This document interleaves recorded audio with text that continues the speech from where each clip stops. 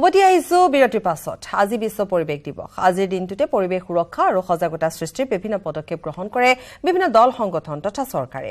ৰাজ্যখনতো আজি বিভিন্ন ঠাইত গছপুলি ৰোপণ কৰাৰ লগতে উলিওৱা হৈছে সজাগতা অভিযান।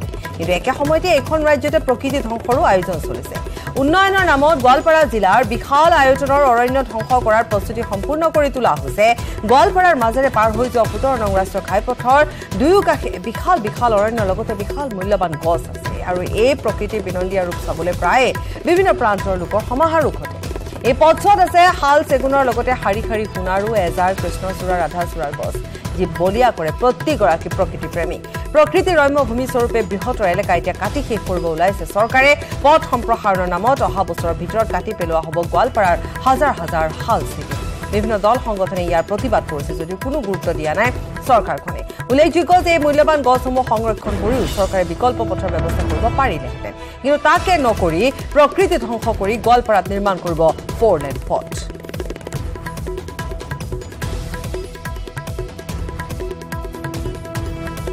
চাৰি লেনযুক্ত পথ বনোৱাত আমাৰ অসুবিধা নাই আমি এইটো ৱেলকাম জনাইছোঁ। কিন্তু পথ বনোৱাৰ নামত আমাৰ গোৱালপাৰা পঞ্চৰত্নৰ পৰা গুৱাহাটীলৈ থকা যোনবিলাক মানে মূল্যৱান গছ গছনি কাটি পেলাই ৰাস্তাটো বনাবলৈ গৈ আছে এইটোৰ পৰা আমাৰ পৰিৱেশত যে মানে অদূৰ প্ৰভাৱ পৰিব এইটো আমি উপলব্ধি কৰিছোঁ। গতিকে আমি ৰাষ্ট্ৰীয় পথ প্ৰাধিকৰণক অনুৰোধ জনাইছোঁ ফ'ৰ লেনযুক্ত পথ বনাওক আপোনালোকে কিন্তু তাৰ নামত আমাৰ চাৰিকাষে থকা যোনবিলাক মূল্যৱান গছ গছনিবিলাক নাকাটি পেলাই তাৰ মাজতে যদি ৰাস্তাটো ৰাস্তাটো বনাই যাব পাৰে আমি সেইটো অনুৰোধ জনাইছোঁ।